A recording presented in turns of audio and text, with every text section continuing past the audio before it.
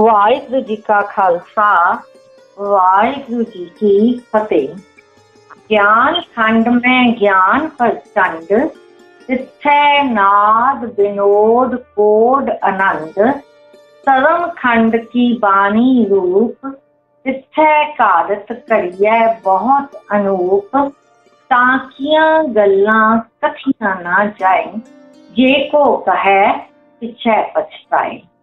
ਤਿੱਥੈ ਕਰੀਐ ਸੁਰਤ, ਮਤ, ਮਨ, ਬੁੱਧ ਤਿੱਥੈ ਕਰੀਐ ਸੁਰਾ, ਸਿੱਧਾਂ ਕੀ ਸੁਧ ਤੋ ਬੱਚਿਓ, ਇਹ ਜਪਜੀ ਸਾਹਿਬ ਦੀ ਛੱਤਵੀਂ ਪੜੀ ਦਾ ਆਪਾਂ ਹੁਣ ਪਾਠ ਕੀਤਾ ਹੈ, ਜਿਸ ਦੇ ਵਿੱਚ ਸਾਨੂੰ ਗੁਰੂ ਸਾਹਿਬ ਸ਼ਰਮ ਖੰਡ ਦੀ ਗੱਲ ਕਰਨਗੇ। ਪਹਿਲਾਂ ਆਪਾਂ ਦੋ ਖੰਡ ਪੜ ਚੁੱਕੇ ਹਾਂ ਧਰਮ ਖੰਡ ਤੇ ਗਿਆਨ ਖੰਡ। ਹੁਣ ਇਸ ਪੌੜੀ ਦਾ ਆਰੰਭ ਵੀ ਗੁਰੂ ਸਾਹਿਬ ਗਿਆਨ ਖੰਡ ਤੋਂ ਕਰਦੇ ਪਏ ਨੇ ਕਿ ਗਿਆਨ ਖੰਡ ਮੈਂ ਗਿਆਨ ਪਰਚੰਡ ਜਿਹੜਾ ਗਿਆਨ ਦਾ ਖੰਡ ਹੈ ਨਾ, ਜਿਹੜੀ ਪੌੜੀ ਅਸੀਂ ਗਿਆਨ ਦੀ ਕਰੀ ਹੈ, ਉਹਦੇ ਵਿੱਚ ਗਿਆਨ ਪਰਚੰਡ। ਮੈਂ ਦਾ ਮਤਲਬ ਆਏਗਾ ਵਿੱਚ, ਪ੍ਰਚੰਡ ਦਾ ਮਤਲਬ ਹੈ ਕਿ ਬੜਾ ਬਲਵਾਨ ਹੁੰਦਾ ਹੈ, ਬੜਾ ਤੇਜਵਾਨ ਹੁੰਦਾ ਹੈ। ਇਸ ਧਰਮ ਖੰਡ ਦੇ ਵਿੱਚ ਸਾਨੂੰ ਗੁਰੂ ਜੀ ਨੇ ਵਾਹਿਗੁਰੂ ਜੀ ਦੀ ਰਚਨਾ ਰਾਤੀ ਰੁੱਤੀ ਸਿੱਤੀ ਬਾਤ ਦੀ ਫਿਰ ਜੀਵਾਂ ਦੇ ਕੰਮਾਂ ਦੇ ਬਾਰੇ ਗੱਲ ਕੀਤੀ ਸੀ ਕਿ ਉਹਨਾਂ ਨੂੰ ਚੰਗੇ ਕਦਮ ਕਰਨੇ ਚਾਹੀਦੇ ਨੇ। ਤੇ ਗਿਆਨ ਖੰਡ ਦੇ ਵਿੱਚ ਜਿਹੜੀ ਉਹਨਾਂ ਨੇ ਗੱਲ ਕੀਤੀ ਸੀ ਨਾ, ਕਿ ਗਿਆਨ ਦਾ ਜਿਹੜਾ ਉਜਿਆਰਾ ਹੈ ਨਾ, ਉਹ ਬੜਾ ਪ੍ਰਬਲ, ਬੜਾ ਤੇਜਵਾਨ ਹੁੰਦਾ ਹੈ। ਭਾਵ ਕੀ ਹੈ ਕਿ ਵਾਹਿਗੁਰੂ ਜੀ ਦੀ ਬੇਅੰਤਤਾ ਦਾ ਸਾਨੂੰ ਉੱਥੇ ਪਤਾ ਲੱਗਦਾ ਹੈ। ਜਦੋਂ ਸਾਨੂੰ, ਸਭ ਨੇ ਸਾਨੂੰ ਕੀ ਦੱਸਿਆ ਸੀ ਕਿਤੇ ਪਵਨ ਪਾਣੀ ਵਰਤ ਕਿੰਨੇ ਪਵਨ ਪਾਣੀ ਦਾ ਸੰਤਲ ਤੇ ਕਾਨ ਮਹੇਸ਼, ਇਹ ਕੀ ਸੀ ਪ੍ਰਭੂ ਦੀ ਬੇਅੰਤਤਾ ਇਸ ਦਾ ਅਹਿਸਾਸ ਹੁੰਦਾ ਵੇ। ਆਪਾਂ ਪਹਿਲਾਂ ਧਰਮ ਦੇ ਮਾਰਗ ਉੱਤੇ ਚੱਲੇ।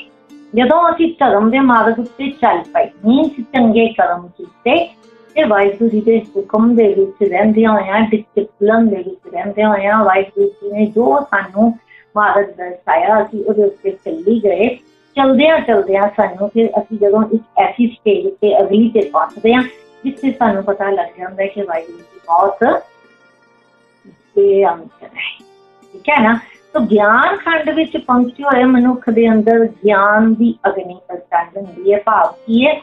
ਉਹ ਹਰ ਵਕਤ ਉਹਦੇ ਉਹਨੂੰ ਗਿਆਨ ਚੂੜ ਸਮਝ ਰਹਿੰਦੀ ਹੈ। ਬੌਧਿਕ ਤੌਰ ਤੇ ਵੀ ਤੇ ਅਧਿਆਤਮਕ ਤਲ ਤੇ ਵੀ ਜਿਹੜੀ ਉਸ ਨੂੰ ਸੂਝ ਲੈਂਦੀ ਹੈ। ਸੋ ਹੁਣ ਇਹ ਇੱਕ ਇਹ ਆਪਾਂ ਪਹਿਲਾਂ ਪੜਿਆ ਗਿਆਨ ਖੰਡ, ਮੈਂ ਗਿਆਨ ਪ੍ਰਚੰਡ ਜਿੱਥੇ ਨਾਦ, ਵਿਨੋਦ, ਕੋਡ, ਆਨੰਦ।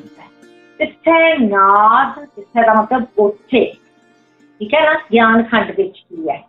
ਜਿੱਥੇ ਮੀਨਸ ਉਹ ਥਾਂ ਤੇ ਨਾਦ ਵਟੇਦਾਰ ਸ਼ਬਦਾਂ ਦੀ ਧੁਨ, ਵਿਨੋਦ, ਤਮਾਸ਼ੇ। ऐसे दुनियावी तमाशे नहीं है ਇਹ ਬਿਸਮਾਦ ਅਵਸਥਾ ਦੇ ਵਿੱਚ ਜਾ ਕੇ ਜੋ ਕੁਝ ਨਜ਼ਰ ਆਉਂਦਾ ਹੈ ਇਹ ਉਸ ਦੀ ਗੱਲ ਕੀਤੀ ਗਈ ਹੈ ਕੋਡ ਦਾ ਮਤਲਬ ਵੀ ਕੌਤਕ ਪ੍ਰਭੂ ਦੇ ਆਨੰਦ ਉਦਾਸੀ ਆਨੰਦ ਉਦਾਸੀ ਸਵਾਦ ਮੰਨਦੇ ਹਨ ਕੀ ਮਤਲਬ ਹੈ ਵੇ ਗਿਆਨ ਖੰਡ ਦੇ ਵਿੱਚ ਜਦੋਂ ਸਾਨੂੰ ਪ੍ਰਭੂ ਦੀ ਬਿਆਨਤਾ ਦਾ ਪਤਾ ਲੱਗਦਾ ਹੈ ਨਾ ਫਿਰ ਸਾਨੂੰ ਇਹ ਵੀ ਅਹਿਸਾਸ ਹੁੰਦਾ ਵੇ ਕਿ ਉੱਥੇ ਅਨੇਕਾਂ ਨਾਦ ਸੰਗੀਤ ਦੀਆਂ ਧੁਨੀਆਂ ਹਨ, ਜਿਹਨਾਂ ਨੂੰ ਆਪਾਂ ਅਨਹਦ ਨਾਦ ਵੀ ਕਹਿ ਦਿੰਦੇ ਆ ਉੱਥੇ ਕਰੋੜਾਂ ਤਰ੍ਹਾਂ ਦੇ ਤਮਾਸ਼ਿਆਂ ਦਾ ਆਨੰਦ ਹੈ।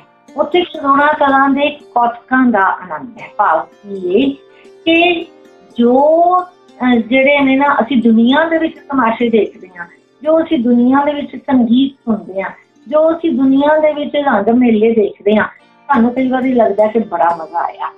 ਪਰ ਜਿਹੜਾ ਉਸ ਗਿਆਨ ਖੰਡ ਦਾ ਆਨੰਦ ਹੈ ਨਾ, ਜਿਹੜੀ ਉੱਥੋਂ ਦੀ ਆਨੰਦਮਈ ਅਵਸਥਾ ਹੈ ਨਾ, ਉਹ ਇਹ ਦੁਨਿਆਵੀ ਆਨੰਦ ਤੋਂ ਅਨੰਤ ਗੁਣਾ ਮਤਲਬ ਜਿਹਦਾ ਅਸੀਂ ਅੰਦਾਜ਼ਾ ਹੀ ਨਹੀਂ ਲਾ ਸਕਦੇ ਕਿ ਕਿੰਨੇ ਗੁਣਾ ਵਧੀਆ ਸਵਾਦ ਸਾਨੂੰ ਗਿਆਨ ਖੰਡ ਦੇ ਵਿੱਚ ਆਉਂਦਾ ਹੈ ਜਦੋਂ ਅਸੀਂ ਪ੍ਰਭੂ ਦੀ ਬੇਅੰਤਤਾ ਨੂੰ ਦੇਖਦੇ ਹਾਂ।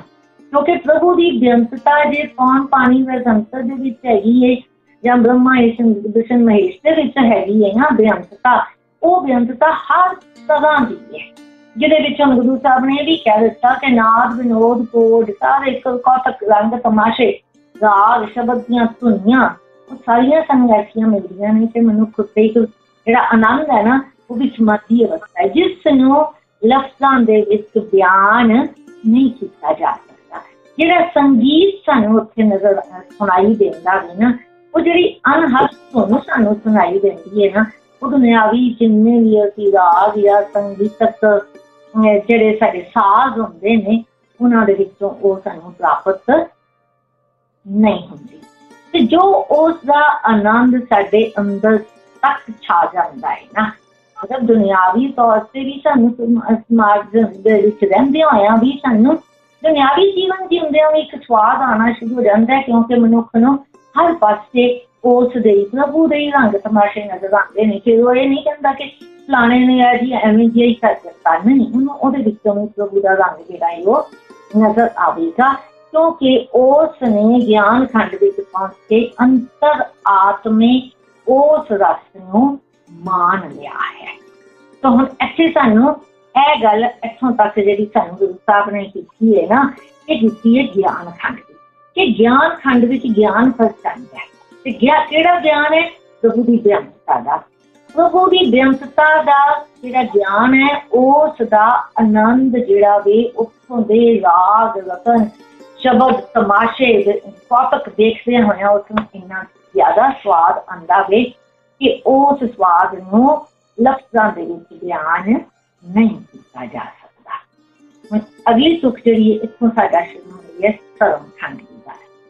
ਦੀ ਗੱਲ ਸਰਮ ਖੰਡ ਕੀ ਬਾਣੀ ਦੀ ਸਰਮ ਦਾ ਮਤਲਬ ਹੈ ਉਦਮ ਮਿਹਨਤ ਠੀਕ ਹੈ ਹੁਣ ਇਹ ਕੀ ਹੈ ਸਰਮ ਖੰਡ ਕੀ ਬਾਣੀ ਦਾ ਮਤਲਬ ਇਸ ਤਰ੍ਹਾਂ ਤੇ ਬੰਸਰ ਹੈ ਬਣਾਵਟ ਹੈ ਰੂਪ ਦਾ ਮਤਲਬ ਸੁੰਦਰਤਾ ਹੈ ਜਿਹਨੂੰ ਅਸੀਂ ਕਹਿੰਦੇ ਹਾਂ ਨੂਰ ਹੀ ਨੂਰ ਹੈ ਸਾਨੂੰ ਕੋਈ ਅਸੀਂ ਕਿਸੇ ਬਹੁਤ ਸਾਨੂੰ ਕੋਈ ਬੰਦਾ ਬੜਾ ਸੋਹਣਾ ਲੱਗਦਾ ਪਿਆ ਹੋਵੇ ਅਸੀਂ ਕਹਿੰਦੇ ਹਾਂ ਉਹਦੇ ਚਿਹਰੇ ਤੇ ਕਿੰਨਾ ਨੂਰ ਹੈ ਨੂਰ ਦਾ ਮਤਲਬ ਕੀ ਹੈ ਕਿ ਐਸੀ ਸੁੰਦਰਤਾ ਹੋਵੇ ਜਿਸ ਨੂੰ ਲਫ਼ਜ਼ਾਂ ਦੇ ਵਿੱਚ ਅਸੀਂ ਬਿਆਨ ਨਹੀਂ ਕਰ ਸਕਦੇ।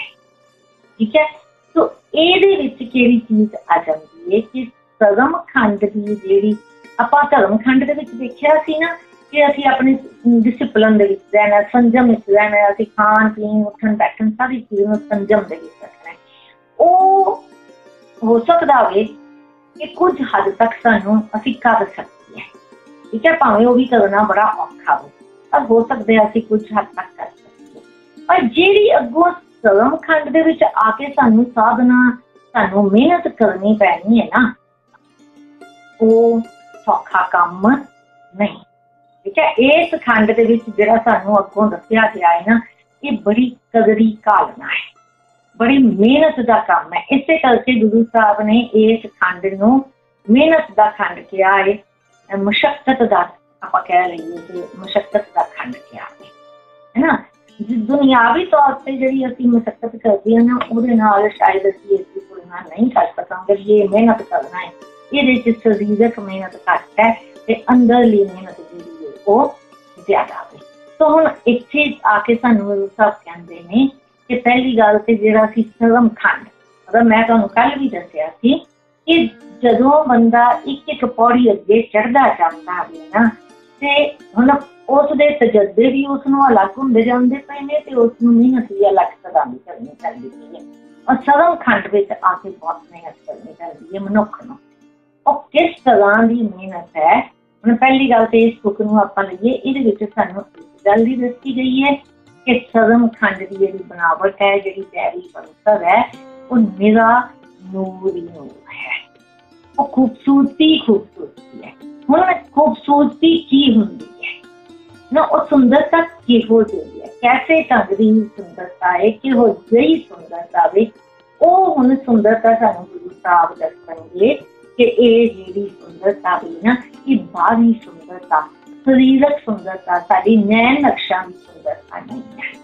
ਹੋ ਸਕਦਾ ਵੀ ਕਿ ਸਰਮ ਖੰਡ ਵਿੱਚ ਪਹੁੰਚਿਆ ਹੋਇਆ ਮਨੁੱਖ ਬਾਹਰੀ ਤੌਰ ਤੇ ਖੂਬਸੂਰਤ ਨਾ ਹੋਵੇ ਰਾਦਤ ਇਹ ਵੀ ਹੋ ਸਕਦਾ ਕਿ ਬਾਹਰੀ ਤੌਰ ਤੇ ਉਹ ਸਰੂਪ ਹੋਵੇ ਪਰ ਆਤਮਿਕ ਤੌਰ ਤੇ ਜਿਹੜੀ ਉਸਦੀ ਸੁੰਦਰਤਾ ਹੈ ਨਾ ਉਹ ਬਹੁਤ ਇੰਨੀ ਜ਼ਿਆਦਾ ਹੋਵੇਗੀ ਕਿ ਉਸ ਦੀ ਤੁਲਨਾ ਕਿਸੇ ਹੋਰ ਨਾਲ ਨਹੀਂ ਕੀਤੀ ਜਾ ਸਕਦੀ ਉਹ ਸੁੰਦਰਤਾ ਅੰਦਰਲੀ ਸੁੰਦਰਤਾ ਨੂਰੋ ਨੂਰ ਹੋਵੇਗੀ ਇਸੇ ਕਰਕੇ ਅਗਲੀ ਤੁਕ ਸਾਨੂੰ ਗੁਰੂ ਸਾਹਿਬ ਕੀ ਕਹਿੰਦੇ ਨੇ ਸਿੱਖੈ ਕਾਰਤ ਕੜੀਐ ਬਹੁਤ ਅਨੂ ਸਿੱਖਾ ਦਾ ਮਤਲਬ ਉੱਥੇ ਕਾਰਤ ਕੜੀਐ ਤਾਂ ਉਹ ਕਾਰਤ ਕੜੀ ਜਾਂਦੀ ਹੈ, ਆਪਾਂ ਕਿਸੇ ਚੀਜ਼ ਨੂੰ ਬਣਾਉਣਾ ਹੋਵੇ ਨਾ, ਤੇ ਆਪਾਂ ਕਹਿੰਦੇ ਹਾਂ ਨਾ ਵੀ ਅਸੀਂ ਇਸ ਨੂੰ ਕਰਨਾ ਨਹੀਂ ਬਣਾਉਣਾ ਨਹੀਂ ਆਪਾਂ ਇਹ ਕਹਿ ਲਈਏ ਕਿ ਉਹ ਚੀਜ਼ ਬਣਾਈ ਜਾਂਦੀ ਹੈ। ਬਹੁਤ ਅਨੂਪ ਅਨੂਪ, ਅਨੂਪਮ ਜਿਹਨੂੰ ਅਸੀਂ ਕਹਿ ਰਹੇ ਹਾਂ। ਬੇਮਿਸਾਲ, ਬਹੁਤ ਸੁੰਦਰ। ਹੁਣ ਸਦਮ ਖੰਡ ਦੇ ਵਿੱਚ ਜੋ ਕੁਝ ਕਰਿਆ ਜਾਂਦਾ ਹੈ ਨਾ, ਉਹ ਬਹੁਤ ਸੁੰਦਰ ਹੈ। ਮੈਂ ਫੇਰ ਪਿਛਲੇ ਦੋ ਖੰਡਾਂ ਦੇ ਨਾਲ ਵੱਲ ਤੁਹਾਡਾ ਧਿਆਨ ਦੇਵਾਂਗਾ ਪਹਿਲੇ ਖੰਡ ਦੇ ਵਿੱਚ ਕੀ ਹੈ? ਧਰਮਸਾਲ ਤੇ ਰਹਿੰਦੇ ਹੋਇਆ ਅਸੀਂ ਧਰਮ ਕਮਾਣਾ ਹੈ। ਦੂਜੇ ਖੰਡ ਦੇ ਵਿੱਚ ਕੀ ਹੈ? ਅੱਗੇ ਵਧ ਕੇ ਸਾਨੂੰ ਪ੍ਰਭੂ ਦੀ ਕਿਰਪਾ ਦਾ ਗਿਆਨ ਮਿਲਦਾ ਹੈ। ਜਿਸ ਵੇਲੇ ਅਸੀਂ ਇਹ ਦੋਨੋਂ ਸਟੇਜਿਸ ਪਾਰ ਕਰ ਲਵਾਂਗੇ ਨਾ, ਤੇ ਤੀਜੀ ਸਟੇਜ ਦੇ ਵਿੱਚ ਜਾ ਕੇ ਬੇਮਿਸਾਲ ਕਾਰਤ ਉਹ ਜੀਵ ਦੀ ਹੋਏਗੀ ਜਿਹੜਾ ਇਸ ਖੰਡ ਦੇ ਵਿੱਚ ਪ੍ਰਵੇਸ਼ ਕਰ ਜਾਏਗਾ ਮਤਲਬ ਉੱਥੇ ਅਤਿਅੰਤ ਸੁੰਦਰ ਅਤਿਅੰਤ ਖੂਬਸੂਰਤ ਕਿਸਮ ਦੀ ਕਾਰਤ ਕਰੀ ਜਾਂਦੀ ਹੈ ਜਾਂ ਬਸਤਰ ਬਣਾਈ ਜਾਂਦੀ ਹੈ। ਉਹਨੂੰ ਕੀ ਕਹਿੰਦੇ ਨੇ? ਕਰਿਆ ਕੀ ਜਾਂਦਾ ਵੇ? ਹੁਣ ਇੱਥੇ ਅਗਲੀਆਂ ਸੁਤਾਂ ਦੇ ਵਿੱਚ ਸਾਨੂੰ ਜਾ ਕੇ ਦੱਸਿਆ ਜਾਏਗਾ ਕਿ ਪਹਿਲੀ ਗੱਲ ਤੇ ਗੁਰੂ ਸਾਹਿਬ ਇਹ ਕਹਿੰਦੇ ਪਏ ਨੇ ਕਿ ਸਵਮ ਖੰਡ ਦੀਆਂ ਜਿਹੜੀਆਂ ਉਸ ਅਵਸਥਾ ਦੇ ਵਿੱਚ ਕਿਸ ਤਰ੍ਹਾਂ ਦੀ ਪਰਸਨੈਲਿਟੀ ਘੜੀ ਜਾਂਦੀ ਹੈ, ਉੱਥੇ ਕੀ ਘੜਿਆ ਜਾਂਦਾ ਵੇ? ਉਹ ਵੈਸੇ ਤਾਂ ਪੂਰਨ ਤੌਰ ਤੇ ਦੱਸਣਾ ਬੜਾ ਕਠਿਨ ਹੈ। ਦੱਸਿਆ ਜਾ ਹੀ ਨਹੀਂ ਸਕਦਾ। ਵੀ ਤੋਂ ਗੁਰੂ ਸਾਹਿਬ ਆਪ ਹੀ ਕਹਿੰਦੇ ਪਏ ਨੇ ਕਿ ਤਾਂ ਗੱਲਾਂ ਸੱਚੀਆਂ ਨਾ ਜਾਏ। ਉਹ ਕਈਆਂ ਹੀ ਨਹੀਂ ਜਾ ਸਕਦੀਆਂ। ਉੱਥੇ ਕੀ ਘੜਿਆ ਜਾਂਦਾ ਪਿਆ ਹੈ? ਇਸ ਢੰਗ ਨਾਲ ਘੜਿਆ ਜਾਂਦਾ ਪਿਆ ਉਹ ਘਾੜਤ ਹੈ ਕਿ? ਗੁਰੂ ਸਾਹਿਬ ਕਹਿੰਦੇ ਨੇ, ਇਹ ਗੱਲ ਕਥਨ ਤੋਂ ਪਰੇ ਹੈ। ਤਾਂ ਕਿ ਉਸ ਅਵਸਥਾ ਦੀ ਜਿਹੜੀ ਅੰਦਰਲੀ ਅਵਸਥਾ ਹੈ ਨਾ, ਇਹ ਬੇਟੇ ਧਿਆਨ ਰੱਖਣਾ, ਇਹ ਬਾਹਰੀ ਗੱਲਾਂ ਨਹੀਂ, ਇਹ ਸਾਰੀਆਂ ਅੰਦਰ ਦੀਆਂ ਨੇ। ਉਸ ਅਵਸਥਾ ਦੀਆਂ ਜਿਹੜੀਆਂ ਗੱਲਾਂ ਨੇ ਨਾ ਕਥੀਆਂ ਨਾ ਜਾ ਕਈਆਂ ਨਹੀਂ ਜਾ ਸਕਦੀਆਂ, ਬਿਆਨ ਨਹੀਂ ਕੀਤੀਆਂ ਜਾ ਸਕਦੀਆਂ। ਤੇ ਜੇ ਕੋ ਕਹੇ ਤਾਂ ਜੇ ਕੋਈ ਕੋਸ਼ਿਸ਼ ਕਰੇ, ਮੈਂ ਦੱਸਾਂ। ਹਿੰਮਤ ਕਰਕੇ ਕੁਝ ਦੱਸਣ ਦੀ ਕੋਸ਼ਿਸ਼ ਵੀ ਕਰੇ, ਤਾਂ ਵੀ ਉਸ ਨੂੰ ਪਛਤਾਵਾ ਹੋਵੇਗਾ। ਪਹਿਲੀ ਗੱਲ ਤੇ ਕੋਈ ਕਹਿ ਹੀ ਨਹੀਂ ਸਕਦਾ। ਮੈਂ ਪਹਿਲਾਂ ਦੱਸਿਆ ਨਾ ਕਬੀਰ ਦਾ ਭਗਤ, ਕਬੀਰ ਜੀ ਕੀ ਕਹਿੰਦੇ ਨੇ, ਕਹੋ ਕਬੀਰ ਗੁੰਗੇ ਗੁੜ ਖਾਇਆ, ਪੁੱਛੇ ਤੇ ਕਿਆ ਕਹੀਏ? ਇੱਕ ਗੁੰਗੇ ਨੂੰ ਕੋਈ ਚੀਜ਼ ਮਿੱਠੀ ਦੀ ਗੁੜ ਖਾਣ ਦੇ ਲਈ ਦੇ ਦਿਓ। ਤੇ ਉਹਨੂੰ ਪੁੱਛੋ ਕਿ ਸਵਾਦ ਕਿਦਾਂ ਦਾ ਉਹਨੂੰ ਤਾਂ ਬੋਲ ਹੀ ਨਹੀਂ ਸਕਦਾ। ਉਹ ਕਿਵੇਂ ਦੱਸੇਗਾ? ਹੈਨਾ? ਗੁਰੂ ਨਾਨਕ ਦੇਵ ਜੀ ਦੀ ਗੁਰਬਾਣੀ ਦੇ ਵਿੱਚ ਸਾਨੂੰ ਕੀ ਦੱਸਿਆ ਗਿਆ? ਜਿਉਂ ਸਾਖ ਗੁੰਗਾ ਮੁਸਕਾਰ ਹੈ ਗੁੰਗੇ ਨੂੰ ਜਿਹੜੀ ਚੀਜ਼ ਚੰਗੀ ਲੱਗੀ ਨਾ, ਗੁੜ ਬੜਾ ਮਿੱਠਾ ਲੱਗੇਗਾ ਨਾ। ਕਿ ਉਹ ਮੁਸਕਰਾ ਦੇਵੇਗਾ ਸਾਨੂੰ ਉਹਦੀ ਮੁਸਕਰਾਹਟ ਤੋਂ ਪਤਾ ਲੱਗ ਜਾਏਗਾ ਕਿ ਇਹਨੂੰ ਸਵਾਦ ਲੱਗਦਾ ਹੈ ਇਸੇ ਤਰ੍ਹਾਂ ਜਿਹੜੇ ਮਨੁੱਖ, ਜਿਹੜੇ ਜੀਵ ਧਰਮ ਖੰਡ, ਗਿਆਨ ਖੰਡ ਦੇ ਵਿੱਚੋਂ ਨਿਕਲਦੇ ਆ, ਅਗਲੇ ਖੰਡਾਂ ਦੇ ਵਿੱਚ ਪ੍ਰਵੇਸ਼ ਕਰਦੇ ਜਾਂਦੇ ਨੇ ਨਾ, ਉਹ ਉਥੋਂ ਦੀਆਂ ਗੱਲਾਂ ਦੱਸ ਤੇ ਜੇ ਕੋਈ ਦੱਸਣ ਦੀ ਕੋਸ਼ਿਸ਼ ਕਰੇ, ਮੰਨ ਲਵੋ ਕੁਝ ਕਵੇ ਕਿ ਵੀ ਮੈਨੂੰ ਦੱਸਣਾ ਚਾਹੀਦਾ ਹੈ ਤਾਂ ਕਿ ਦੁਨੀਆ ਦਾ ਭਲਾ ਹੋਵੇ, ਚਾਹੇ ਮਤਲਬ ਕਈ ਲੋਕ ਤਾਂ ਹੰਕਾਰ ਵਿੱਚ ਵੀ ਆ ਕੇ ਦੱਸ ਦਿੰਦੇ ਨੇ, ਉਹ ਤਾਂ ਫਿਰ ਥੱਲੇ ਡਿੱਗ ਪੈਂਦੇ ਨੇ ਉਹ ਫਿਰ ਧਰਮ ਖੰਡ ਤੋਂ ਵੀ ਥੱਲੇ ਜਾ ਪੈਂਦੇ ਨੇ। ਉਹਨਾਂ ਨੂੰ ਦੁਬਾਰਾ ਮਿਹਨਤ ਕਰਕੇ ਪੌੜੀ ਦੇ ਡੰਡੇ ਚੜਨੇ ਪੈਂਦੇ ਨੇ। ਪਰ ਜੇ ਕੋਈ ਮੰਨ ਲਵੋ, ਇਹ ਚਾਹਵੇ ਕਿ ਮੈਨੂੰ ਦੁਨੀਆ ਦਾ ਭਲਾ ਕਰਨਾ ਤਾਂ ਵੀ ਜੇ ਉਹ ਕਸਮ ਕਰੇਗਾ ਵੀ ਨਾ ਕਿ ਉਹਨੂੰ ਪਛਤਾਵਾ ਇਸ ਗੱਲ ਦਾ ਹੋਵੇਗਾ। ਪਛਤਾਏ ਹੈ ਨਾ ਕਹਿਣ ਤੋਂ ਬਾਅਦ ਉਹਨੂੰ ਪਛਤਾਣਾ ਪਏਗਾ। ਨਾ, ਕਿਉਂਕਿ ਉਹ ਕਥਨ ਅਧੂਰਾ ਹੋਏਗਾ। ਸਾਰੀ ਗੱਲ ਦੱਸ ਸਕਦਾ ਹੀ ਨਹੀਂ। ਠੀਕ ਹੈ ਨਾ? ਮੈਂ ਦੋਨੋਂ ਗੱਲਾਂ ਕਰ ਦਿੱਤੀਆਂ ਨੇ। ਕੁਝ ਲੋਕ ਤਾਂ ਸ਼ੇਖੀ ਮਾਰ ਕੇ ਕਹਿੰਦੇ ਨੇ, ਉਹਨਾਂ ਨੂੰ ਤਾਂ ਪਛਤਾਣਾ ਪੈਂਦਾ ਕਿਉਂਕਿ ਉਹ ਥੱਲੇ ਡਿੱਗ ਪੈਂਦੇ ਨੇ। ਕੁਝ ਲੋਕਾਂ ਦੇ ਮਨ ਵਿੱਚ ਹੋ ਸਕਦਾ ਕਿ ਚੰਗੀ ਭਾਵਨਾ ਵੀ ਹੋਵੇ ਐਸੇ ਮਨੁੱਖ ਵੀ ਦੁਨੀਆ ਦੇ ਵਿੱਚ ਹੁੰਦੇ ਨੇ, ਜਿਹੜੇ ਆਪਣੇ ਨਾਲ ਦਿਆਂ ਨੂੰ ਥੋੜਾ ਥੋੜਾ ਉੱਤੇ ਉਠਾਉਣ ਵਾਸਤੇ ਆਪਾਂ ਕਹਿੰਦੇ ਆ ਨਾ ਸਤ ਸੰਗਤ ਤੇ ਜਾ ਕੇ ਬੰਦਾ ਉੱਤੇ ਉੱਠਦਾ ਹੈ। ਉਹ ਐਦਾਂ ਹੀ ਉੱਠਦਾ ਕਿਉਂਕਿ ਜਿਹੜੇ ਉਸ ਰਸਤੇ ਤੇ ਚੱਲਦੇ ਪਏ ਹੁੰਦੇ ਨੇ ਨਾ, ਉਹਨਾਂ ਦੇ ਨਾਲ ਰਹਿ ਕੇ, ਉਹਨਾਂ ਦੀ ਸੰਗਤ ਕਰਕੇ ਉਹਨਾਂ ਦੀਆਂ ਗੱਲਾਂ ਸੁਣ ਕੇ ਦੂਜੇ ਮਨੁੱਖ ਵੀ ਉੱਪਰ ਉੱਠਦੇ ਨੇ। ਪਰ ਨਾ, ਜਿਹੜੇ ਮਤਲਬ ਕੋਈ ਵੀ ਜਿਹੜਾ ਹੈ ਨਾ, ਉਹ ਇਸ ਦੀਆਂ ਗੱਲਾਂ ਤੇ ਉੱਥੇ ਕੀ ਕੁਝ ਉਹਨਾਂ ਖੰਡਾਂ ਦੇ ਵਿੱਚ ਵਾਪਰਦਾ ਪਿਆ ਹੈ ਨਾ, ਉਹ ਕਦੀ ਵੀ ਬਿਆਨ ਨਹੀਂ ਕਰ ਸਕਦੇ। ਇਸ ਕਰਕੇ ਉਹਨਾਂ ਨੂੰ ਹਮੇਸ਼ਾ ਪਛਤਾਵਾ ਹੀ ਹੁੰਦਾ ਵੇ। ਕਿ ਮੈਂ ਗੱਲ ਕੀਤੀ ਪਰ ਮੈਂ ਪੂਰੀ ਗੱਲ ਤੇ ਦੱਸ ਨਹੀਂ ਸਕਿਆ ਠੀਕ ਹੈ तो इस करके गुरु साहब की कहते पए ने कि जे को कहे पुछे ताई ਅਗਲੀ ਜਿਹੜੀ ਰੋਕਿਆ ਨਾ ਇਹ ਬੜੀ ਸਮਝਣ ਵਾਲੀ ਹੈ ਹੁਣ ਉੱਥੇ ਕੀ ਕਰਿਆ ਜਾਂਦਾ ਹੈ ਗੁਰੂ ਸਾਹਿਬ ਸਾਨੂੰ ਸਮਝਾਉਣ ਵਾਸਤੇ ਕਹਿੰਦੇ ਜਿੱਥੇ ਕਰੀਏ ਜਦੋਂ ਉੱਥੇ ਕਰਿਆ ਜਾਂਦਾ ਹੈ ਸੁਰਤ ਮਤ ਮਨ ਤੇ ਬੁੱਧ। ਠੀਕ ਹੈ? ਸੋ ਇਹ ਚਾਰ ਚੀਜ਼ਾਂ ਸਾਨੂੰ ਦੱਸੀਆਂ ਨੇ। ਆਪਾਂ ਜਿਵੇਂ ਨਾ ਕੋਈ ਟਕਸਾਲ ਹੁੰਦੀ ਹੈ ਨਾ ਆਪਾਂ ਸੋਨਾ ਜਿੱਥੇ ਘੜਿਆ ਜਾਂਦਾ ਉਹਨੂੰ ਟਕਸਾਲ ਕਹਿ ਦਿੰਦੇ ਨੇ। ਆਪਾਂ ਅਖੀਰਲੀ ਪੌੜੀ ਦੇ ਵਿੱਚ ਜੱਟ ਪਹਾੜਾ ਦੀ ਸੁਨਿਆਵਾਂ ਦੇ ਵਿੱਚ ਵੀ ਪੜਾਂਗੇ ਇੱਥੇ ਜਿਹੜੀ ਗੱਲ ਵੀ ਟਕਸਾਲ ਦੀ ਗੱਲ ਜਾ ਕੇ ਕਰਾਂਗੇ ਹੁਣ ਇਸ ਜਿਹੜਾ ਸਰਮ ਖੰਡ ਹੈ ਨਾ ਇਹ ਸਮਝੋ ਕਿ ਇੱਕ ਟਕਸਾਲ ਹੈ ਇੱਕ ਨੂਰੀ ਟਕ- ਟਕਸਾਲ ਹੈ। ਇੱਕ ਮਤਲਬ ਸਾਰੇ ਪਾਸੇ ਨੂਰ ਹੀ ਨੂਰ ਹੈ। ਨੂਰ ਕਿੱਥੇ ਹੁੰਦਾ ਜਿੱਥੇ ਸੁੰਦਰਤਾ ਹੋਵੇ। ਇੱਥੇ ਮਨ ਸੁਤ, ਮਤ, ਮਨ ਬੁੱਧ ਨੂੰ ਘੜਿਆ ਜਾਂਦਾ ਹੈ। ਉਹਦੇ ਅੰਦਰ ਉਹਨੂੰ ਖੂਬਸੂਰਤ ਬਣਾਇਆ ਜਾਂਦਾ ਪਿਆ। ਜਿਵੇਂ ਆਪਾਂ ਦੇਖਦੇ ਹਾਂ ਨਾ ਵੀ ਕੋਈ ਚੀਜ਼ ਪਈ ਹੋਵੇ, ਜੋ ਆਪਾਂ ਮਿੱਟੀ ਹੀ ਲਾ ਲਈਏ। ਮਿੱਟੀ ਪਈ ਹੋਈ ਹੈ ਤੇ ਫਿਰ ਜਿਹੜਾ ਘੁਮਿਆਰ ਹੈ, ਜਦੋਂ ਉਹਦੇ ਵਿੱਚੋਂ ਪਹਿਲਾਂ ਤਾਂ ਮਿੱਟੀ ਕੁਝ ਵੀ ਨਹੀਂ ਲੱਗਦੀ ਪਈ, ਪਰ ਜਿਸ ਵੇਲੇ ਉਸ ਨੂੰ ਘੜ ਲੈਂਦਾ ਤੇ ਫਿਰ ਉਹਦੇ ਚੋਂ ਬੜੇ ਸੋਹਣੇ ਭਾਂਡੇ ਬਣਨੇ ਹੋ ਜਾਂਦੇ ਨੇ। ਠੀਕ ਹੈ? ਜਿੱਥੇ ਇਦਾਂ ਦੀ ਘੜਤ ਘੜੀ ਜਾਂਦੀ ਹੈ ਉਹਨੂੰ ਟਕਸਾਲ ਵੀ ਕਹਿ ਦਿੱਤਾ ਜਾਂਦਾ ਹੈ। ਸੋ ਸਦਮ ਖੰਡ ਜਿਹੜਾ ਹੈ ਨਾ ਇਹ ਆਪਾਂ ਇਸ ਨੂੰ ਕਹਿਣਾ ਚਾਹੀਏ ਤੇ ਅਸੀਂ ਕਹਿ ਸਕਦੇ ਹਾਂ ਇਹ ਨੂਰੀ ਟਕਸਾਲ ਹੈ। ਠੀਕ ਹੈ? ਹੁਣ ਇੱਥੇ ਕੀ ਘੜਿਆ ਜਾਂਦਾ ਪਿਆ ਵੇ? ਇਹ ਜੇ ਸੋਚ ਮਤ ਮਨ ਬੋਲ ਹੁਣ ਇਹ ਥੋੜਾ ਜਿਹਾ ਸਮਝਣਾ ਪਏਗਾ ਕਿ ਸਾਡਾ ਜਿਹੜਾ ਅਹ, ਅੰਤःਕਰਨ ਹੈ ਨਾ ਸਾਡੇ ਅੰਦਰ ਇਹ ਅੰਤਾ ਅੰਤःਕਰਨ ਸਾਡੀ ਅੰਦਰ ਦੀ ਇੰਦਰੀ ਹੈ, ਜਿਸ ਦੇ ਹੈਲਪ ਦੇ ਨਾਲ, ਜਿਸ ਦੇ ਸੰਯੋਗ ਨਾਲ ਸਾਡੀਆਂ ਬਾਹਰੀਆਂ ਬਾਹਰਲੀਆਂ ਇੰਦਰੀਆਂ ਕੰਮ ਕਰਦੀਆਂ ਪਈਆਂ ਨੇ। ਠੀਕ ਹੈ? ਉਹ ਬਾਹਰਲੀਆਂ ਇੰਦਰੀਆਂ ਜਿਹੜੀਆਂ ਨੇ, ਉਹ ਜਿੰਨਾ ਵੀ ਵਰਕ ਕਰਦੀਆਂ ਪਈਆਂ ਨੇ ਨਾ, ਜਿੰਨੇ ਵੀ ਐਕਸ਼ਨ ਸਮਾਜ ਦੇ ਵਿੱਚ ਰਹਿੰਦੀਆਂ ਹੋਈਆਂ, ਸੰਸਾਰ ਦੇ ਵਿੱਚ ਰਹਿੰਦੀਆਂ ਕਰਦੀਆਂ ਨਾ, ਉਹ ਕਰਦੀਆਂ ਪਈਆਂ ਨੇ ਅੰਤਾ ਅੰਤःਕਰਨ ਸਾਡੇ ਅੰਦਰਲੇ ਦੀ ਸਹਾਇਤਾ ਦੇ ਨਾਲ। ਹੁਣ ਸਾਡੇ ਅੰਤਾ ਅੰਤःਕਰਨ ਦੇ ਚਾਰ ਹਿੱਸੇ ਹੁੰਦੇ ਨੇ। ਠੀਕ ਹੈ ਪਹਿਲਾ ਹਿੱਸਾ ਕਿਹੜਾ ਹੈ ਸੋਚ ਸੋਚ ਹੁੰਦਾ ਹੈ ਇਹਨੂੰ ਪ- ਅਸੀਂ ਜਿਹੜਾ ਤੁਹਾਨੂੰ ਮੀਨਿੰਗ ਦੱਸਣਾ ਚਾਹਾਂ ਤਾਂ ਇਹ ਚਿੱਤ ਇਹਨੂੰ ਚਿੱਤ ਵੀ ਕਹਿ ਦਿੰਦੇ ਨੇ ਇਹ ਸਾਡੇ ਅੰਤःਕਰਨ ਦਾ ਉਹ ਹਿੱਸਾ ਹੁੰਦਾ ਹੈ ਜਿਸ ਦਾ ਕੰਮ ਕੀ ਹੈ ਚਿੱਤੇ ਰੱਖਣਾ ਠੀਕ ਹੈ ਚਿੱਤ ਦਾ ਕੀ ਕੰਮ ਹੁੰਦਾ ਹੈ ਚਿੱਤੇ ਰੱਖਣਾ ਤਾਂ ਹੀ ਇਹਦਾ ਨਾਮ ਚਿੱਤ ਬਣਿਆ ਸੋਚ ਸੋਚ ਦਾ ਮਤਲਬ ਚਿੱਤ ਚਿੱਤੇ ਰੱਖਣਾ ਇਹਦਾ ਕੰਮ ਹੈ ਭੁੱਲਣਾ ਨਹੀਂ ਠੀਕ ਹੈ ਮਤ ਮਤ ਕਹਿੰਦੇ ਨੇ ਹੰਕਾਰ। ਮਨ ਮਨ ਹੁੰਦਾ ਹੈ ਜਿਸ ਕਰਕੇ ਨਾ ਜਦੋਂ ਸਾਡੇ ਮਨ ਦੇ ਵਿੱਚ ਕੁਝ ਵਿਚਾਰ ਐਵੇਂ ਹੀ ਪੈਦਾ ਹੁੰਦੇ ਰਹਿੰਦੇ ਨੇ। ਠੀਕ ਹੈ? ਅਸੀਂ ਇਹ ਕਰਾਂਗੇ, ਅਸੀਂ ਉਹ ਕਰਾਂਗੇ, ਏਦਾਂ ਕਰ ਲਾਂਗੇ ਉਦਾਂ ਕਰ ਲਾਂਗੇ, ਹੈਨਾ? ਇਹ ਵਾਲੀਆਂ ਜਿੰਨੀਆਂ ਸਾਡੀਆਂ ਗੱਲਾਂ ਪੈਦਾ ਹੁੰਦੀਆਂ ਨੇ ਨਾ ਜਿਸ ਥਾਂ ਉੱਤੇ ਸਾਡੇ ਅੰਤਾ ਕਰਨ ਦੇ ਜਿਸ ਪਾਰਟ ਦੇ ਵਿੱਚ ਉਸ ਨੂੰ ਮਨ ਕਹਿ ਦਿੰਦੇ ਨੇ। ਠੀਕ ਹੈ? ਤੇ ਬੁੱਧ ਕਹਿ ਦਿੰਦੇ ਨੇ ਜਿਸ ਮਨ ਦੀ ਜਾਗਰਤ ਅਵਸਥਾ, ਜਦੋਂ ਜਿਸ ਤੋਂ ਵਿਚਾਰ ਪੈਦਾ ਹੋ ਜਿਸ ਤੋਂ ਨਿਸ਼ਚਾ ਪੈਦਾ ਹੁੰਦਾ ਠੀਕ ਹੈ? ਸੋ ਜਿਹੜੀਆਂ ਸਾਡੀਆਂ ਅੰਤःਕਰਨ ਦੀਆਂ ਚਾਰ, ਸਮਝੋ ਕਿ ਸਾਡਾ ਅੰਤःਕਰਨ ਚਾਰ ਸ਼ਕਤੀਆਂ ਦਾ ਇਕੱਠ ਹੈ, ਉਹ ਕਿਹੜੀਆਂ ਨੇ? ਮਨ, ਬੁੱਧ, ਚਿੱਤ, ਅਹੰਕਾਰ, ਇਹ ਚਾਰ ਸ਼ਕਤੀਆਂ ਨੇ, ਇਹਨਾਂ ਨੂੰ ਮਿਲਾ ਕੇ ਸਾਡਾ ਅੰਤःਕਰਨ ਬਣਦਾ ਹੈ। ਤੇ ਇਹਨਾਂ ਉੱਤੇ ਹੀ ਸਾਡੀ ਸਾਰੀ ਪਰਸਨੈਲਿਟੀ ਡਿਪੈਂਡ ਕਰਦੀ ਹੈ ਠੀਕ ਹੈ? ਇਹ ਮਨ, ਚਿੱਤ, ਬੁੱਧ ਜਿਹੜੀਆਂ ਚਾਰ ਨੇ ਨਾ, ਇਹਨਾਂ ਨੂੰ ਵਿਚਾਰ ਸ਼ਕਤੀ ਵੀ ਕਿਹਾ ਜਾਂਦਾ ਹੈ, ਚਿੱਤੇ ਸ਼ਕਤੀ ਇੱਕ ਜਾਂਦੀ ਹੈ, ਇੱਕ ਫੁਰਨਿਆਂ ਦੀ ਸ਼ਕਤੀ ਆ ਜਾਂਦੀ ਹੈ, ਇੱਕ ਸੋਚਣ ਦੀ ਸ਼ਕਤੀ ਆ ਜਾਂਦੀ ਕਿਉਂਕਿ ਇਹ ਸ਼ਕਤੀਆਂ ਸਾਨੂੰ ਦਿੱਤੀਆਂ ਕਿ ਪਈਆਂ ਕੋਈ ਨਹੀਂ ਮੂਖਮ ਨੇ ਠੀਕ ਹੈ ਨਾ?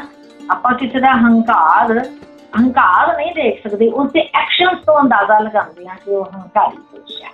ਠੀਕ ਹੈ ਨਾ?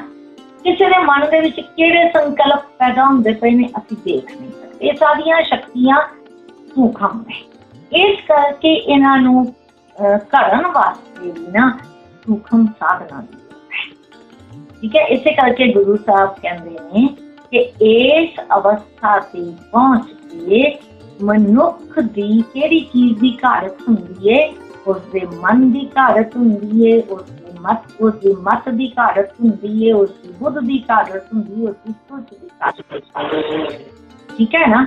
ਆਪਾਂ, ਮੈਂ ਫਿਰ ਤੁਹਾਨੂੰ ਐਗਜ਼ਾਮਪਲ ਕੀ ਦਿਆਂ ਕਿ ਜਦੋਂ ਵੀ ਅਸੀਂ ਕਿਸੇ ਚੀਜ਼ ਨੂੰ ਘੜਨਾ ਹੁੰਦਾ ਹੈ ਨਾ, ਜਿਵੇਂ ਆਪਾਂ ਲੱਕੜ ਦਾ ਹੀ ਕੋਈ ਫਰਨੀਚਰ ਹੀ ਬਣਾਉਣਾ ਹੈ ਹੁਣ ਲੱਕੜੀ ਸਾਡੇ ਕੋਲ ਪਈ ਹੋਈ ਹੈ ਉਹ ਸਾਨੂੰ ਕੁਝ ਵੀ ਨਹੀਂ ਪ੍ਰਤੀਤ ਹੁੰਦੀ ਸੀ, ਪਰ ਜਦੋਂ ਉਹਦਾ ਫਰਨੀਚਰ ਬਣ ਜਾਂਦਾ ਹੈ ਤੇ ਬਹੁਤ ਸੋਹਣੀ ਚੀਜ਼ ਬਣ ਕੇ ਸਾਡੇ ਸਾਹਮਣੇ ਆ ਜਾਂਦੀ ਹੈ। ਠੀਕ ਹੈ? ਤਾਂ ਆਪਾਂ ਇਹਨੂੰ ਕਿਵੇਂ ਲੈਣਾ ਹੈ ਕਿ ਇਸ ਪੜਾਅ ਤੇ ਆ ਕੇ ਤੀਜਾ ਪੜਾਅ ਆ ਗਿਆ ਨਾ ਸੁਰਤ ਦਾ ਪੜਾਅ। ਇੱਥੇ ਪਹੁੰਚ ਕੇ ਭਗਤ ਮਿਹਨਤ ਕਰਦਾ ਹੈ। ਜੀਵ ਮਿਹਨਤ ਕਰਦਾ ਹੈ ਕਾਹਦੇ ਵਾਸਤੇ ਆਪਣੇ ਆਪ ਨੂੰ ਕਰਨਗੇ ਘੜੀ ਕਿਹੜੀ ਚੀਜ਼ ਜਾਣੀ ਹੈ? ਉਸ ਨੂੰ ਵੀ ਕਰਨਾ ਹੈ ਮਜ਼ਾ ਨਹੀਂ ਮਤ ਨੂੰ ਕੋਈ ਗਲਤ ਫੈਸਲਾ ਉਹ ਨਹੀਂ ਕਰਦਾ। ਠੀਕ ਹੈ? ਬੁੱਧ ਘੜੀ ਗਈ। ਸਾਰੇ ਦੇ ਸਾਰੇ ਵਿਚਾਰਾਂ ਦਾ ਵੇਗ ਘੜਿਆ ਗਿਆ ਵੀ ਉਹ ਚੰਗੇ ਪਾਸੇ ਵੱਲ ਨੂੰ ਸਾਡੇ ਵਿਚਾਰ ਜਾਣੇ ਸ਼ੁਰੂ ਹੋ ਜਾਂਦੇ ਕਿਸੇ ਦੇ ਔਗਣ ਦੇਖ ਕੇ ਵੀ ਸਾਨੂੰ ਉਹ ਬੰਦਾ ਮਾੜਾ ਨਹੀਂ ਲੱਗਦਾ। ਅਸੀਂ ਉਹਦੇ ਵਿੱਚੋਂ ਵੀ ਕੀ ਦੇਖਣ ਲੱਗ ਪੈਂਦੇ ਆ ਗੁਣ ਦੇਖਣ ਲੱਗ ਪੈਂਦੇ ਆ ਸੋ ਮਨੁੱਖ ਮਿਹਨਤ ਕਰਦਾ ਹੈ, ਇਸੇ ਕਰਕੇ ਇਸ ਇਸ ਚੀਜ਼ ਨੂੰ ਕਰਨਾ ਬੜਾ ਔਖਾ ਹੈ। ਆਪਾਂ ਇਸ ਆਪਣੇ ਮਨ ਨੂੰ ਹੀ ਕਾਬੂ ਵਿੱਚ ਨਹੀਂ ਰੱਖ ਸਕਦੇ। ਮਨ ਨੂੰ ਹੀ ਘੜਨਾ ਸਾਨੂੰ ਬੜਾ ਔਖਾ ਲੱਗਦਾ ਹੋਵੇ। ਅਸੀਂ ਆਪਣੇ ਹੰਕਾਰ ਉੱਤੇ ਕਾਬੂ ਨਹੀਂ ਪਾ ਸਕਦੇ, ਠੀਕ ਹੈ ਨਾ? ਤੇ ਇੱਥੇ ਤਾਂ ਚਾਰ ਚਾਰ ਚੀਜ਼ਾਂ ਨੂੰ ਘੜਿਆ ਜਾਣਾ ਹੈ ਤਾਂ ਅਗਲੇ ਖੰਡ ਦੇ ਵਿੱਚ ਪ੍ਰਵੇਸ਼ ਹੋਏਗਾ ਠੀਕ ਹੈ ਨਾ? ਇਸੇ ਕਰਕੇ ਇਸ ਖੰਡ ਨੂੰ ਗੁਰੂ ਸਾਹਿਬ ਨੇ ਕੀ ਕਿਹਾ ਹੈ ਕਿ ਇਹ ਮਿਹਨਤ ਦਾ ਖੰਡ ਹੈ। ਇੱਥੇ ਅੰਦਰੋਂ ਗਲਤ ਫੁਰਨੀਆਂ ਨੂੰ ਛੱਡਣ ਦੀ ਮਿਹਨਤ ਕਰਨੀ ਪਏਗੀ। ਇੱਥੇ ਗਲਤ ਸੋਚਣੀਆਂ ਨੂੰ ਸੋਚਣ ਦਾ ਮਤਲਬ ਛੱਡਣ ਦੀ ਮਿਹਨਤ ਕਰਨੀ ਪਏਗੀ ਇੱਥੇ ਗਲਤ ਫੈਸਲੇ ਲੈਣ, ਨਾ ਲੈ ਲਈਏ, ਇਹ ਮਿਹਨਤ ਕਰਨੀ ਪਏਗੀ ਠੀਕ ਹੈ ਨਾ? ਇਹ ਮਿਹਨਤ ਕਰਨ ਦੇ ਲਈ ਸਾਨੂੰ ਗੁਰੂ ਦੇ ਮਾਰਗ ਸੇਵਾ ਤਾਂ ਹੁਣ ਸਾਨੂੰ ਜਿਹੜਾ ਮਾਰਗ ਪਹਿਲਾਂ ਦੱਸਿਆ ਨਾ, ਨਾਮ ਜਪਣ ਦਾ। ਇੱਥੇ ਆ ਕੇ ਬਹੁਤ ਜ਼ਿਆਦਾ ਨਾਮ ਜਪਿਆ ਜਾਏਗਾ, ਤੇ ਤਾਂ ਹੀ ਇਹ ਸਾਰਾ ਕੁਝ ਜਿਹੜਾ ਹੈ ਨਾ, ਉਹ ਕਰਿਆ ਜਾਏਗਾ। ਠੀਕ ਹੈ ਨਾ? ਇਹ ਇਹਦਾ, ਇਹਦੇ ਵਿੱਚ ਕੀ ਹੈ? ਜੇ ਗਲਤ ਪੁਰਨੇ ਸਾਡੇ ਅੰਦਰ ਚੱਲਦੇ ਪਏ ਨੇ ਨਾ, ਤੇ ਇਹਦਾ ਮਤਲਬ ਹੈ ਕਿ ਹਾਲੇ ਸਾਡਾ ਅੰਦਰ ਕਰਿਆ ਨਹੀਂ ਗਿਆ। ਜੇ ਅਸੀਂ ਕਿਸੇ ਦਾ ਮਾੜਾ ਸੋਚਦੇ ਪਏ ਆ ਨਾ, ਜਾਂ ਸਾਨੂੰ ਕੋਈ ਮਾੜਾ ਲੱਗਦਾ ਪਿਆ ਹੈ ਨਾ, ਤਾਂ ਇਹਦਾ ਮਤਲਬ ਹੈ ਕਿ ਹਾਲੇ ਅਸੀਂ ਉਸ ਥਾਂ ਤੱਕ ਨਹੀਂ ਪਹੁੰਚੇ। ਸਦਮ ਖੰਡ ਦੀ ਉਹ ਸਾਡੀ ਕਾਰਤ ਉੱਤੇ ਹਾਲੇ ਨਹੀਂ ਹੋਈ। ਅਸੀਂ ਉਹਨੂੰ ਮਿਹਨਤ ਨਹੀਂ ਕੀਤੀ ਨਾਮ ਜਪਣ ਦੇ ਵਿੱਚ ਉਸ ਮਾਰਗ ਵਿੱਚ ਚੱਲਣ ਦੇ ਲਈ ਤੇ ਸਾਡੀ ਹਾਲੇ ਉਹ ਕਾਰਤ ਨਹੀਂ ਕਰੀ ਹੁਣ ਇੱਥੇ ਜਿਹਦਾ ਮਨ ਸੋਹਣਾ ਹੋਵੇਗਾ ਨਾ ਉਹ ਮਨੁੱਖ ਆਪਾਂ ਇੱਕ ਆਮ ਕਹਾਵਤ ਹੈਗੀ ਹੈ ਨਾ ਕਿ ਸੋਹਣਾ ਉਹ ਜੋ ਸੋਹਣਾ ਕਰੇ ਤੇ ਸੋਹਣਾ ਕਰੇਗਾ ਉਹੀ ਹੋਈ ਜਿਹੜਾ ਸੋਹਣਾ ਪਹਿਲਾਂ ਕਰਨ ਦਾ ਸੋਚੇਗਾ ਠੀਕ ਹੈ ਨਾ ਤੂੰ ਪਹਿਲਾਂ ਮਨ ਦੇ ਵਿੱਚ ਵਿਚਾਰ ਪੈਦਾ ਕਰਨ ਦੇ ਲਈ ਵੀ ਸਾਨੂੰ ਮਿਹਨਤ ਕਰਨੀ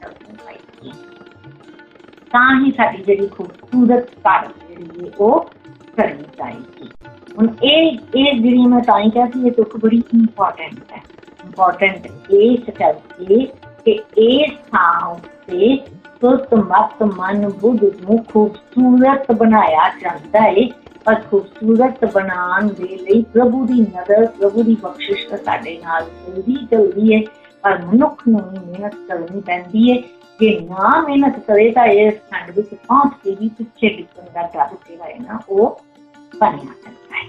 ਤੇ ਅਗਲੀ ਤੁਕ ਦੇ ਵਿੱਚ ਸਾਨੂੰ ਕੀ ਗੁਰੂ ਸਾਹਿਬ ਕਹਿੰਦੇ ਪਏ ਨੇ ਕਿੱਥੇ ਕਰੀ ਹੈ ਸਾਰਤ ਕਿਹੜੀ ਪਹਿਲੀ ਗੱਲ ਤੇ ਕਹੀ ਹੈ ਨਾ ਕਿ ਮਤ ਮਨ ਮਤ ਬੁੱਧ, ਸਾਰੀ ਸੋਚ ਮਤ ਮਨ ਬੁੱਧ ਸੁਦਾ ਸਿਧਾਂ ਇੱਥੇ ਜਦ ਜਿਸ ਵੇਲੇ ਮਨੁੱਖ ਦੀ ਮਤ ਘੜੀ ਜਾਂਦੀ ਹੈ ਨਾ, ਤਾਂ ਫਿਰ ਉਹ ਕੀ ਬਣ ਜਾਂਦਾ ਸੋ ਮੈਂ ਤੁਹਾਨੂੰ ਪਹਿਲਾਂ ਵੀ ਦੱਸਿਆ ਸੀ, ਸੋ ਦੇਵਤੀ ਨੂੰ ਕਿਹਾ ਜਾਂਦਾ ਦੇਵਤਾ, ਉਹ ਹੁੰਦਾ ਹੈ ਜਿਹਦੀ ਦੇਵ ਦੇਵਤੀ ਹੋਵੇ।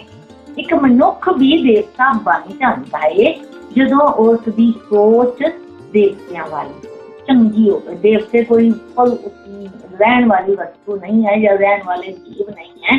ਦੇਵਤੇ ਮਨੁੱਖ ਵੀ ਮਾਨਸ ਤੇ ਦੇਵਤੇ ਭਏ ਧਿਆਇਆ ਨਾਮ ਹਰੇ ਮਨੁੱਖ ਦੇਵਤਾ ਬਣ ਜਾਂਦਾ ਹੈ ਨਾ ਗੁਰੂ ਸਾਹਿਬ ਬੜੀ ਬਖਸ਼ਿਸ਼ ਕਰਦੇ ਨੇ।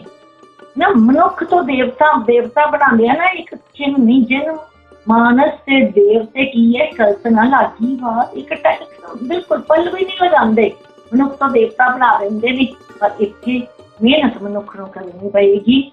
ਕਿਹੜੀ ਮਿਹਨਤ ਕਰਨੀ ਪਏਗੀ, ਸਾਨੂੰ ਨਾਮ ਦਾ ਮਾਰਗ ਚਲਾਈ ਉਹ ਅਡਾਪਟ ਕਰਨਾ ਪਏਗਾ। ਠੀਕ ਹੈ? ਸਿੱਧ ਵੀ ਕੌਣ ਨੇ? ਜਿਨ੍ਹਾਂ ਨੇ ਨਾਮ ਸਿੱਧੀ ਨੂੰ ਪ੍ਰਾਪਤ ਕਰ ਲਿਆ। ਉਹ ਰੂਹਾਂ, ਉਹ ਮਨੁੱਖ, ਉਹ ਜੀਵ, ਜਿਨ੍ਹਾਂ ਨੇ ਨਾਮ ਦੀ ਸਿੱਧੀ ਪ੍ਰਾਪਤ ਕੀਤੀ ਹੈ। ਠੀਕ ਹੈ? ਨਾਮ ਜਿਹਨੇ ਕਹ ਲੋ ਕਿ ਉਹ ਸੂਝ ਪ੍ਰਾਪਤ ਕੀਤੀ ਹੈ ਨਾਲ ਦੀ ਨਾਲ। ਸੁਧ ਦਾ ਮਤਲਬ ਸੂਝ ਹੁੰਦਾ ਵੇ, ਅਕਲ ਹੁੰਦਾ ਹੈ ਜਾਂ ਸਮਝ ਹੁੰਦਾ ਹੈ। ਪਰ ਇੱਥੇ ਕੀ ਹੈ ਕਿ ਜਿਹੜੇ ਮਨੁੱਖ ਧਰਮ ਖੰਡ ਵਿੱਚ ਪਹੁੰਚ ਕੇ ਵੀ ਨਾਲ ਨਾਲ ਮਿਹਨਤ, ਆਪਾਂ ਛੱਡ ਨਹੀਂ ਦੇਣਾ ਜੀ, ਅਸੀਂ ਹੁਣ ਅੱਗੇ ਪਹੁੰਚਦੇ ਹਾਂ। ਜੇ ਆਪਾਂ ਅਗਲੀ ਕਲਾਸ ਦੇ ਵਿੱਚ ਨਹੀਂ ਪੜਾਂਗੇ ਨਾ, ਤੇ ਸਾਨੂੰ ਉਸ ਤੋਂ ਅਗਲੀ ਕਲਾਸ ਵਿੱਚ ਆਪਾਂ ਇੱਕ ਕਲਾਸ ਸਟੈਪ ਅੱਗੇ ਵੱਧ ਗਏ ਹਾਂ ਉਸ ਕਲਾਸ ਵਿੱਚ ਜਾ ਕੇ ਸਾਨੂੰ ਉਨੀ ਮਿਹਨਤ ਕਰਨੀ ਪਏਗੀ ਜੇ ਅਸੀਂ ਕਲਾਸ ਤੱਕ ਪਹੁੰਚਣਾ ਔਰ ਦੁਨਿਆਵੀ ਤੌਰ ਤੇ ਤਾਂ ਕੀ ਹੁੰਦਾ ਜੇ ਮੈਂ ਮੰਨ ਲਓ 8th ਵਿੱਚ ਪਹੁੰਚ ਗਈ ਹਾਂ, ਮਿਹਨਤ ਨਹੀਂ ਕੀਤੀ, ਮੈਂ ਫੇਲ ਹੋ ਗਈ ਹਾਂ, ਤੇ ਮੈਨੂੰ 8th ਦੇ ਵਿੱਚ ਦੁਬਾਰਾ ਦਾਖਲ ਕਰਨਗੇ ਪਰ ਇੱਥੇ ਤਾਂ ਇਹ ਵੇ ਕਿ ਜੇ 8th ਵਿੱਚ ਪਹੁੰਚ ਕੇ ਵੀ ਅਸੀਂ ਫੇਲ ਹੋ ਜਾਂਦੇ ਹਾਂ ਜਾਂ ਅਸੀਂ ਅੱਗੇ ਨਹੀਂ ਵਧਦੇ, ਤਾਂ ਪਿੱਛੇ ਡਿੱਗਣ ਦਾ ਵੀ ਡਰ ਪੂਰਾ ਬਣਿਆ ਰਹਿੰਦਾ ਠੀਕ ਹੈ ਨਾ? ਪਿੱਛੇ ਵੀ ਡਿੱਗਣ ਦਾ ਡਰ ਹੈ। ਅਸੀਂ ਬਿਲਕੁਲ ਥੱਲੇ ਥੱਲੜੀ ਪੌੜੀ ਤੇ ਵੀ ਡਿੱਗ ਸਕਦੇ ਹਾਂ। ਇਸ ਲਈ ਸਾਨੂੰ ਮਿਹਨਤ ਹਮੇਸ਼ਾ ਨਾਲ ਦੀ ਨਾਲ ਕਰਨੀ ਹੋਵੇਗੀ ਠੀਕ ਹੈ? ਜਿਵੇਂ ਸਿੱਧਾਂ ਦੀ ਮੱਤ ਹੈ, ਮਤਲਬ ਜਿਹੜੇ ਸਿੱਧ ਪੁਰਸ਼ ਨੇ, ਜਿਨ੍ਹਾਂ ਨੇ ਮਨ ਨੂੰ ਸਾਧਿਆ ਹੋਇਆ ਵੇ, ਦੇਵਤਿਆਂ ਦੀ ਮੱਤ ਹੈ। ਠੀਕ ਹੈ? ਤੋ ਇਹ ਸਾਰੀ ਚੀਜ਼ ਜਿਹੜੀ ਉਸ ਪੁਰਸ਼ ਦੇ ਕੋਲ ਆ ਜਾਂਦੀ ਹੈ, ਜਿਸ ਨੇ ਆਪਣੇ ਮਨ ਨੂੰ ਕੱਢ ਲਿਆ, ਆਪਣੇ ਬੁੱਧ ਨੂੰ ਕੱਢ ਲਿਆ, ਆਪਣੇ ਚਿੱਤ ਨੂੰ ਕੱਢ ਲਿਆ, ਆਪਣੇ ਅਹੰ ਭਾਵ ਨੂੰ, ਹੰਕਾਰ ਨੂੰ ਕੱਢ ਲਿਆ, ਵੀ ਉਹ ਖਤਮ ਕਰ ਲਿਆ। ਤੋ ਇਸ ਤਰ੍ਹਾਂ ਇਹ ਬੰਦੇ ਜਿਹੜੇ ਨੇ ਖੁਦ ਕੁਛ ਬਣ ਜਾਂਦੇ ਹੈ ਨਾ ਇਸੇ ਤਰ੍ਹਾਂ ਦੇ ਬੰਦਿਆਂ ਨੂੰ ਉਹ ਫਿਰ ਕਹਿ ਦਿੰਦੇ ਨੇ ਦੇਵਤਾ ਬਣਿਆ ਕਹਿ ਦਿੰਦੇ ਨੇ ਉਹਨੂੰ ਮਹਾਨ ਹੋਇਆ ਕਹਿ ਦਿੰਦੇ ਨੇ ਤੋ ਕਹਿਣ ਦਾ ਮਤਲਬ ਕੀ ਆ ਜਾਂਦਾ ਵੀ ਕਿ ਇਸ ਖੰਡ ਦੇ ਵਿੱਚ ਜਿਹੜੀ ਬੰਤਲ ਮਨੁੱਖ ਦੀ ਹਾਲਤ ਘੜੀ ਜਾਂਦੀ ਉਹ ਅਤਿਅੰਤ ਸੁੰਦਰ ਹੈ ਦੁਨੀਆ ਦੀਆਂ ਸਾਰੀਆਂ ਸੁੰਦਰਤਾਵਾਂ ਨਾਲੋਂ ਸੁੰਦਰ ਹੈ ਕਿਉਂਕਿ ਇੱਥੇ ਆ ਕੇ ਮਨ ਕੜਿਆ ਜਾਂਦਾ ਹੈ ਜਦੋਂ ਮਨ ਕੜਿਆ ਜਾਵੇ, ਖੁਦ ਕੜੀ ਜਾਵੇ ਤਾਂ ਅੰਦਰੋਂ ਸੁੰਦਰ ਹੋ ਜਾਂਦਾ ਹੈ। ਠੀਕ ਹੈ? ਤਾਂ ਸਮਝ ਲਾ ਇਹ ਜਿਹੜਾ ਖੰਡ ਹੈ ਨਾ, ਇਹ ਬੜੀ ਕਿਉਂਕਿ ਜਿਉਂ-ਜਿਉਂ ਅਸੀਂ ਅੱਗੇ ਵਧਦੇ ਜਾਂਦੇ ਆ ਨਾ ਤੇ ਉਹ ਸਾਨੂੰ ਆਪਾਂ ਦੇਖਦੇ ਹਾਂ ਕਿ ਵੱਡੀਆਂ ਕਲਾਸਾਂ ਵਿੱਚ ਚਾਹੀ ਗਈ ਤੇ ਕਈ ਹੋਰ ਔਖੀ ਹੁੰਦੀ ਜਾਂਦੀ ਹੈ। ਇੱਥੇ ਆ ਕੇ ਸਾਨੂੰ ਬਹੁਤ ਉਦਮ ਕਰਨਾ ਪਏਗਾ, ਮਿਹਨਤ ਕਰਨੀ ਪਏਗੀ। ਪਹਿਲੇ ਖੰਡਾਂ ਨਾਲੋਂ ਵੀ ਜ਼ਿਆਦਾ ਠੀਕ ਹੈ? ਤੋ ਯਤਨ ਆਪਾਂ ਕਰਨਾ ਹੈ ਕਿ ਆਪਾਂ ਇਹ ਇਹ ਹੁਣ ਗੁਰੂ ਸਾਹਿਬ ਸਾਨੂੰ ਮਾਰਗ ਦੱਸਦੇ ਪਏ ਨੇ, ਸਮਝਾਉਂਦੇ ਪਏ ਨੇ ਕਿ ਐਸ ਮਾਰਗ ਉੱਤੇ ਆਪਾਂ ਜੇ ਚੱਲਾਂਗੇ ਤਾਂ ਅਲਟੀਮੇਟਲੀ ਅਸੀਂ ਸੱਚਖੰਡ ਤੱਕ ਪਹੁੰਚ ਜਾਵਾਂਗੇ, ਜਿੱਥੇ ਉਸਨੇ ਰੰਕਾਰ ਦਾ ਵਾਸਾ ਹੈ।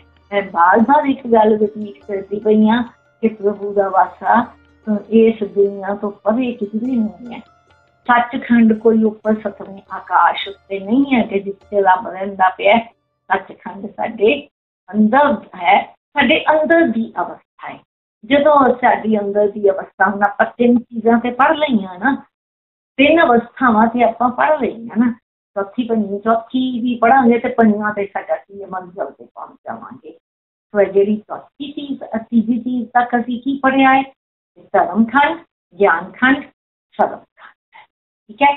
ਇਹ ਤਿੰਨੋਂ ਪਾਰ ਕਰ ਲਵਾਂਗੇ, ਜਿਸ ਵੇਲੇ ਮਨੁੱਖ ਅਧਿਆਤਮਿਕ ਤੌਰ ਤੇ ਇਹਨਾਂ ਨੂੰ ਪਾਸ ਕਰ ਲਏਗਾ ਤੇ ਅਸੀਂ ਉਸ ਧਰਮ ਖੰਡ ਦੇ ਵਿੱਚ ਪਹੁੰਚ ਜਾਏਗਾ, ਜਿਸ ਦੀ ਗੱਲ ਆਪਾਂ ਚੱਲ ਕਰਾਂਗੇ। ਠੀਕ ਹੈ?